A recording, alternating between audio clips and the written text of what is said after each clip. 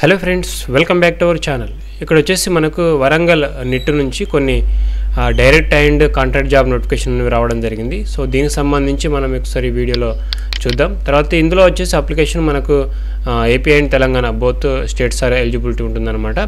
So తర్వాత దీనికి వచ్చేసి మనకు ఇంటర్మీడియట్ టు డిగ్రీ అదేవిధంగా పీజీ అదేవిధంగా మనకు బీటెక్ స్థాయి వరకు అయితే ఉన్నటువంటి ఖాళీలకు అర్హతలు అయితే ఉన్నాయన్నమాట. సో ఇదంతా కూడా మనం ఒకసారి ఈ వీడియోలో క్లియర్గా చూద్దాం. అండ్ వీడియోలోకి వెళ్ళబోయే ముందు మన ఛానల్ నుండి ఇంకా మరిన్ని జాబ్ నోటిఫికేషన్స్ మీరు తప్పనిసరిగా మిస్ కాకుండా పొందాలంటే మన ఛానల్ని సబ్స్క్రైబ్ చేసుకోండి. తర్వాత పక్కనే బెల్ ఐకాన్ వస్తుంది సో దాన్ని కూడా క్లిక్ చేసేయండి.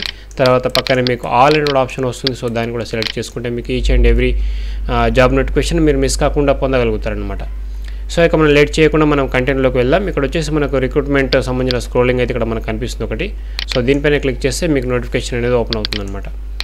సో ఇది వచ్చేసి నోటిఫికేషన్ ఇందులో మనకైతే రకరకాల జాబ్స్ అయితే ఉన్నాయండి. ఇక్కడ మనకు కనిపిస్తుంది కదా సీనియర్ మెడికల్ ఆఫీసర్ అని చెప్పేసి అసిస్టెంట్ రిజిస్ట్రార్ అని చెప్పేసి అసిస్టెంట్ ఇంజనీర్ సూపరింటెండెంట్ అయితే అదేవిధంగా technical assistant junior engineer SAS assistant తర్వాత library and information assistant senior technician and technician and junior assistant. So ఈ విధంగా కనిపిస్తున్నాయి ఇది గ్రూప్ వైజ్గా మనకు ఏ కేటరీకి చెందిన వాళ్ళు తర్వాత పే లెవెల్ ఏ విధంగా ఉంటుంది స్కేల్ అనమాట ఇది ఎంత శాలరీ వస్తుందనేది ఇక్కడ మనకు పే లెవెల్ మెన్షన్ చేశారు. అండ్ దీనిలో వచ్చేసి ఏంటంటే ఎక్కువగా మనకు ఇరవై ఏడు పోస్టులు అయితే టెక్నికల్ అసిస్టెంట్కి ఉన్నాయి. పంతొమ్మిది సీనియర్ టెక్నికల్ టెక్నీషియన్ పోస్టులు ఉన్నాయి. టెక్నీషియన్ వచ్చేసి ముప్పై నాలుగు ఉన్నాయి. జూనియర్ అసిస్టెంట్ వచ్చేసి మనకు పంతొమ్మిది పోస్టులు అయితే ఉన్నాయి. మిగతా అయితే సింగిల్ డిజిట్లో మనకు కనిపిస్తున్నాయి అనమాట సో అన్ని పోస్టుల సం- సంబంధించి కూడా మనం ఒకసారి ఈ వీడియోలో చూద్దామన్నమాట సో ఎలిజిబిలిటీ క్యాండిడేట్ ఎవరైనా కానీ ఆన్లైన్ అప్లికేషన్ చేసుకోవచ్చు అని చెప్పేసి ఇక్కడ మనకి ఇవ్వడం జరిగింది. సో ఆన్లైన్ అప్లికేషన్ ఇంకా మనకు స్టార్ట్ కాలేదు.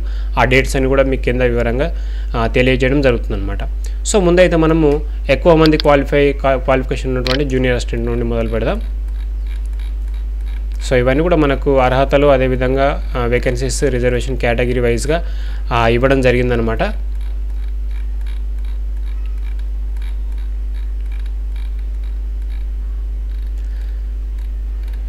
సో ఇదే అనమాట దీనికి సంబంధించినటువంటి జూనియర్ అసిస్టెంట్ అయితే ముందు చూద్దాం మనం. జూనియర్ అసిస్టెంట్ వచ్చేసి మనకు మొత్తం మీద పంతొమ్మిది పోస్టులు అయితే ఇక్కడ మనకు కనిపిస్తున్నాయి.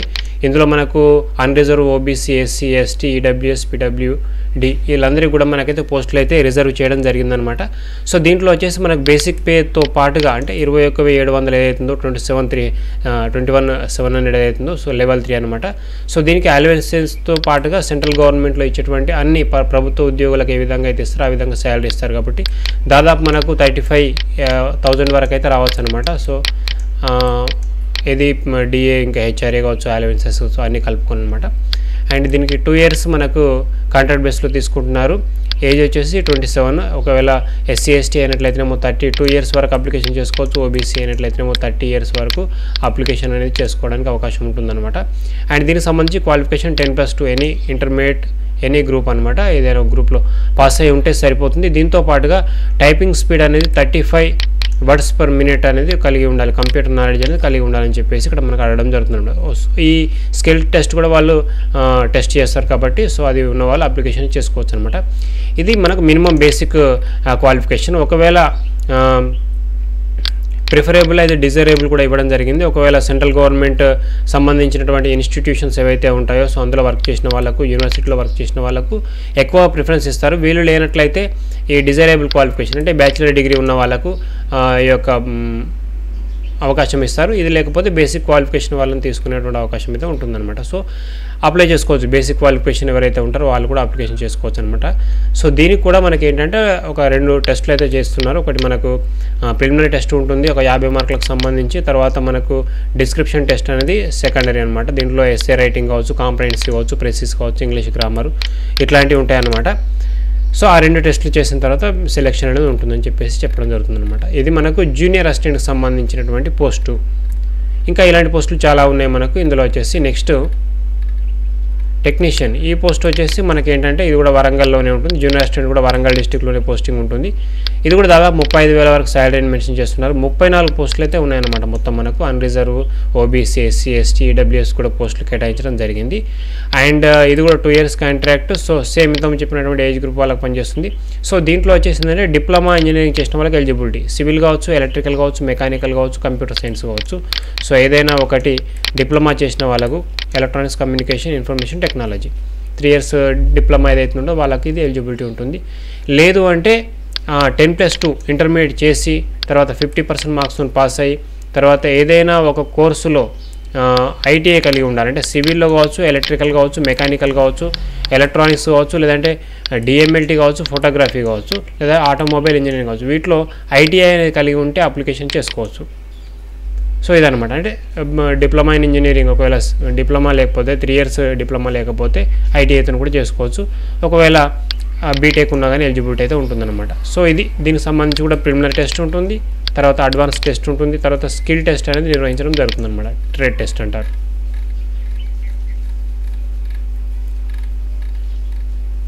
సో నెక్స్ట్ వచ్చేసి సీనియర్ టెక్నీషియన్ అని చెప్పేసి పోస్ట్ ఉన్నదనమాట సో ఇది వచ్చేసి మనకు దాదాపుగా ఇరవై ఐదు వేల ఐదు వందల బేసిక్ అంటే నలభై వేల వరకు అయితే శాలరీ అయితే వస్తుందన్నమాట ఫార్టీకే వరకు అయితే వస్తుంది. సో దీంట్లో ఏంటంటే మనకు పంతొమ్మిది పోస్టులు అయితే ఉన్నాయన్నమాట. అండ్ అది ఇది కూడా మనకు టూ ఇయర్స్ అనేది కాంట్రాక్ట్ మెథడ్లో తీసుకోవడం జరుగుతుంది. ముప్పై మూడు ఏళ్ళ వరకు అప్లికేషన్ చేసుకోవచ్చు. అంటే దాదాపుగా మనకు ఎస్సీ ఎస్టీ అనేట్లయితే ముప్పై ఎనిమిది తర్వాత ఓబీసీ అయినట్లయితేనేమో ముప్పై ఆరు సంవత్సరాల వరకు అప్లికేషన్ అనేది చేసుకోవడానికి అవకాశం అయితే ఉంటుందన్నమాట.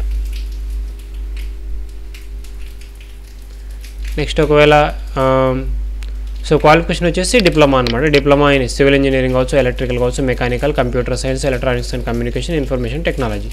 లేదు అంటే మీరు బీటెక్ చేసినా కానీ ఎలిజిబిలిటీ అయితే ఉంటుందన్నమాట.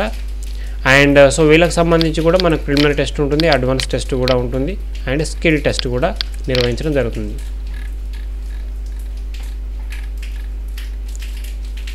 నెక్స్ట్ పోస్ట్ వచ్చేసి లైబ్రరీ అండ్ ఇన్ఫర్మేషన్ అసిస్టెంట్ అని చెప్పేసి ఇది అన్రిజర్వ్లో రెండు ఉన్నాయి. Two years and so thirty thirty five లేదా థర్టీ త్రీ ఇయర్స్ ఓబీసీ అనమాట thirty five for SC ST so ఇది ఏంటంటే పీజీడీఏ లేదా diploma in library automation network కలిగి ఉండాలి. లేదంటే first class bachelor degree science art commerce ఏదైనా ఒకటి కలిగి ఉండాలి. ఆర్ లేదంటే degree in library information science అని కలిగి ఉండాలన్నమాట. సో వాళ్ళకి ఎలిజిబిలిటీ ఉంటుందన్నమాట. సో వీళ్ళకి కూడా same preliminary and advance test అనేది కండక్ట్ చేయడం జరుగుతుందండి.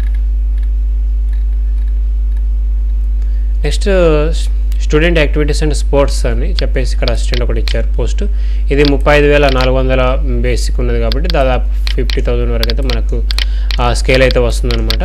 సో ఇందులో అన్రిజర్వ్లో మూడు పోస్టులు ఉన్నాయి. ఇది కూడా టూ ఇయర్స్ కాంట్రాక్ట్ ముప్పై ఏళ్ళకు మించకూడదు. ముప్పై మూడు ఓబీసీ ముప్పై ఐదు ఎస్సీ ఎస్టీ అనమాట సో ఏదైతే physical education bachelor degree in physical education complete చేసిన వాళ్ళకి అర్హత ఉంటుంది. ఫస్ట్ క్లాస్లో పాస్ అయి ఉండాలన్నమాట. అండ్ uh, సో దీంతో పాటుగా మనకు drama music film painting photography ఇట్లాంటి వాటిలో ఏమైనా స్కిల్స్ ఉన్నట్లయితే సో స్పోర్ట్స్ అండ్ స్కిల్స్ ఉన్నట్లయితే బెటర్ అనమాట వీళ్ళకి కూడా ప్రిలిమినరీ టెస్ట్ ఉంటుంది అడ్వాన్స్ టెస్ట్ కూడా ఉంటుందన్నమాట. అండ్ ప్రొఫెషియన్సీ టెస్ట్ కూడా నిర్వహించడం అనేది జరుగుతుందన్నమాట. అండ్ నెక్స్ట్ వచ్చేసి జూనియర్ ఇంజనీర్ పోస్టులు వచ్చేసి మనకి ఎనిమిది ఉన్నాయి. ఇందులో BTech BE civil engineering electric electrical engineering చేసిన వాళ్ళకి ఎలిజిబిలిటీ అయితే ఉన్నదనమాట సో క్యాడ్ అనేది స్పెషల్గా ఎవరికైనా ఉంటే ఆ స్కిల్ ఉంటే అది బెస్ట్ అనమాట వీళ్ళకి కూడా సేమ్ ప్రిలిమినరీ అండ్ అడ్వాన్స్ టెస్ట్లు అయితే ఉంటాయి. అండ్ వీళ్ళకి వచ్చేసి ఏంటంటే ముప్పై ఐదు వేల నాలుగు వందలు అంటే దాదాపు యాభై వేల వరకు ఆ స్కేల్ అయితే అందుతుంది. ఫిక్స్డ్ పేమెంట్ అయితే రావడం జరుగుతుందని చెప్పేసి చెప్పుకోవచ్చు. అండ్ టెక్నికల్ అసిస్టెంట్ వచ్చేసి మనకి ఇరవై ఏడు పోస్టులు అయితే ఉన్నాయి. ఎక్కువ పోస్టులు ఉన్నాయి. సో దాదాపు యాభై వేల వరకు అయితే మనకు నెట్ అమౌంట్ అయితే వస్తుంది. సో దీని కూడా ముప్పై మూడు ఓబీసీ ముప్పై ఐదు ఎస్సీ ఎస్టీ అన్రిజర్వ్ అయితే ముప్పై ఏళ్ళ వరకు అప్లికేషన్ చేసుకోవచ్చు. దీంట్లో కూడా బీఈ బీటెక్ చేసిన వాళ్ళకి ఎలిజిబిలిటీ ఇస్తున్నారు. Computer science and engineering instrumentation engineering లేదా ఎలక్ట్రానిక్స్ కమ్యూనికేషన్ ఇంజనీరింగ్ కావచ్చు ఎలక్ట్రికల్ త్రిబుల్ ఈ కావచ్చు మెకానికల్ ఇంజనీరింగ్ కావచ్చు సివిల్ ఇంజనీరింగ్ కావచ్చు మెటాలర్జికల్ ఇంజనీరింగ్ కావచ్చు కెమికల్ ఇంజనీరింగ్ కావచ్చు బయోటెక్నికల్ ఇంజనీరింగ్ కావచ్చు ఎవరైనా క్వాలిఫికేషన్ ఉన్న వాళ్ళు అప్లికేషన్ చేసుకోవచ్చు. లేదంటే ఫస్ట్ క్లాస్ ఎంసీఏ ఉన్న వాళ్ళు అప్లికేషన్ చేసుకోవచ్చు. లేదంటే మాస్టర్ డిగ్రీ ఫిజిక్స్ కావచ్చు కెమిస్ట్రీ కావచ్చు ఉన్న వాళ్ళు కూడా అప్లికేషన్ అనేది చేసుకోవడానికి అవకాశం అయితే ఇస్తున్నారనమాట సో వీళ్ళకు కూడా రెండు టెస్టులు అయితే మనకు ఉంటున్నాయి. అండ్ స్కిల్ టెస్ట్ ఆధారంగా నిర్వహించడం అనేది జరుగుతుంది అనమాట అండ్ uh, నెక్స్ట్ వచ్చేసి మనకు సూపరింటెండెంట్ అని చెప్పేసి ఇక్కడ మనకి ఒక పోస్ట్ అయితే ఉన్నదనమాట ఇది వచ్చేసి కూడా దాదాపు యాభై వేల స్కేల్ ఉంటుంది. అండ్ ఎనిమిది పోస్టులు అయితే ఉన్నాయన్నమాట. And same thirty thirty three and thirty five years వరకు అప్లికేషన్ చేసుకోవచ్చు.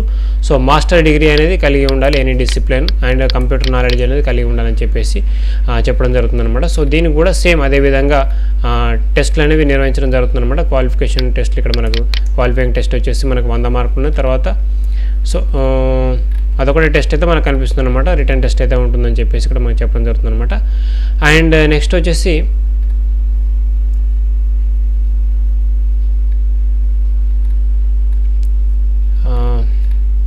అసిస్టెంట్ ఇంజనీర్ సివిల్ అని చెప్పేసి అసిస్టెంట్ ఇంజనీర్ ఎలక్ట్రికల్ అని చెప్పేసి ఇక్కడ మనకు కనిపిస్తుంది. ఇది వచ్చేసి డిప్యుటేషన్ మాత్రమే అండి. అండ్ గౌట్ సెక్టార్లో ఉన్న వాళ్ళకి మాత్రమే డిప్యుటేషన్ ఉంటుంది కాబట్టి.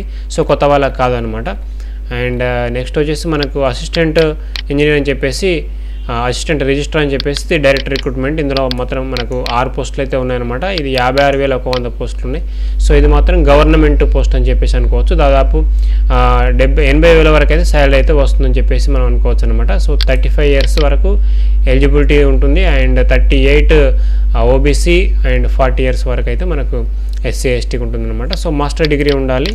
ఫిఫ్టీ పర్సెంట్ మార్క్స్తో పాస్ ఫిఫ్టీ ఫైవ్ పర్సెంట్తో మార్క్స్తో పాస్ అయి ఉండాలని చెప్పేసి చెప్పడం జరుగుతుంది. అండ్ డిజైరేబుల్ చూస్తారు ప్రిఫరేబుల్ కూడా చూస్తారు. ఎందుకంటే ఈ దీనికి అప్లై చేసుకోవడానికి మెయిన్గా ఎక్స్పీరియన్స్డ్ క్యాండిడేట్స్ వస్తారు కాబట్టి సో వాళ్ళ నుంచి మనం సెలెక్ట్ కావాల్సి ఉంటుంది. వీళ్ళ కూడా సెలెక్షన్ అనేది ఉంటుందన్నమాట. సో టెస్ట్ అనేది ఉంటుంది. దాని ప్రకారం సెలెక్షన్ చేస్తారు. సో నెక్స్ట్ వచ్చేసి సీనియర్ మెడికల్ ఆఫీసర్ అని చెప్పేసి డెబ్బై ఎనిమిది వేల ఎనిమిది వందల బేసిక్ అంటే దాదాపు వన్ ల్యాక్ అయితే శాలరీ ఉంటుందన్నమాట. అన్రిజర్వ్లో ఒకటి ఉంది ఇది కూడా డైరెక్ట్ రిక్రూట్మెంట్ రిక్రూట్మెంట్ లేదా డిప్యుటేషన్లో కూడా తీసుకోవడం జరుగుతుందన్నమాట. సో ఎంబీబీఎస్ అనేది కలిగి ఉండాలి. అండ్ సో ఇలా ఎండీ కలిగి ఉండాలని చెప్పేసి చెప్తున్నారు. సో వీళ్ళ కూడా ఎక్స్పీరియన్స్ అడుగుతున్నారు అనమాట సో ఇదేనమాట దీనికి సంబంధించినటువంటి ఇన్ఫర్మేషన్. అండ్ సో మొత్తం పోస్టులు అండి సో దీని నుంచి వెళ్ళి మనకు బేసిక్ క్వాలిఫికేషన్స్ ఉన్నాయి. తర్వాత డిజైరేబుల్ కొంత క్వాలిఫికేషన్స్ అడిషనల్ క్వాలిఫికేషన్ వాళ్ళకి బెటర్ అనమాట ప్రిఫరబుల్ క్వాలిఫికేషన్స్ కూడా ఉన్నాయన్నమాట. సో ప్రిఫరబుల్ క్వాలిఫికేషన్స్ లేనప్పుడు మనకు డిజైరేబుల్ క్వాలిఫికేషన్ చూస్తారు. సో డిజైరేబుల్ క్వాలిఫికేషన్ కూడా క్యాండిడేట్స్ లేనప్పుడు మనకు బేసిక్ క్వాలిఫికేషన్తో ఏదైతే మనకు బేసిక్ క్వాలిఫికేషన్ ఉందో సో దాంతో రిక్రూట్మెంట్ అనేది చేయడం జరుగుతుందనమాట సో మెయిన్గా వచ్చేసి ఇవి క్వాలిఫికేషన్ సంబంధించినటువంటి అదేవిధంగా పోస్టులకు సంబంధించినటువంటి ఇన్ఫర్మేషన్ అండ్ దీనికి సంబంధించి AP TS both are eligibility ఉంటుందన్నమాట. అండ్ లాస్ట్ డేట్ అనేది మనకు ఎప్పటి వరకు ఉన్నదో ఒకసారి చూసినట్లయితే మీకు క్లియర్గా అర్థమవుతుంది. ఒకసారి ఆన్లైన్ అప్లికేషన్ చూద్దాం.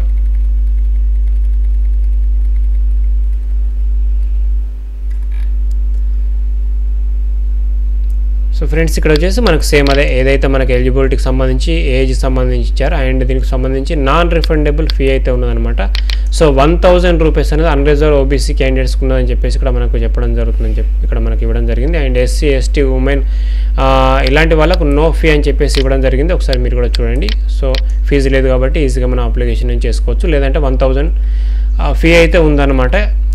అదర్ క్యాండిడేట్స్ అండ్ ఓబీసీ అయితే అన్రిజర్వ్ క్యాండిడేట్స్ అనమాట అండ్ దీనికి సంబంధించి ఆన్లైన్ అప్లికేషన్ అనేది మనకు ట్వంటీ థర్డ్ ఎయిట్ నుండి స్టార్ట్ అవుతుంది. ట్వంటీ థర్డ్ నైన్ వరకు ఇస్తున్నారు.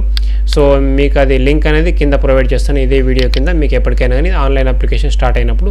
ప్రజెంట్ అయితే మనకు ఆన్లైన్ అప్లికేషన్ ఇంకా స్టార్ట్ కాలేదు కాబట్టి దానికి సంబంధించిన లింక్స్ అయితే మనకి ఏం వాళ్ళు ప్రొవైడ్ చేయలేదన్నమాట. ఓకే ఫ్రెండ్స్ దీనికి సంబంధించి ఏమైనా డీటెయిల్స్ కావాలంటే మీకు కాంటాక్ట్ నెంబర్ కూడా వాళ్ళు ఇవ్వడం జరిగింది. మీరు దాన్ని కూడా మీరు సంప్రదించవచ్చు అనమాట ఓకే ఫ్రెండ్స్ ఇది అనమాట ఈ వీడియోకి ఇన్ఫర్మేషన్. వీడియో నచ్చినట్లయితే లైక్ చేయండి అండ్ షేర్ చేయండి. మరిన్ని వీడియోస్ కోసం మన ఛానల్ ఫాలో అవుతుండండి. నెక్స్ట్ మరొక జాబ్ వీడియోస్తో మళ్ళీ కలుసుకుందాం. అంటే then thank you thank you for watching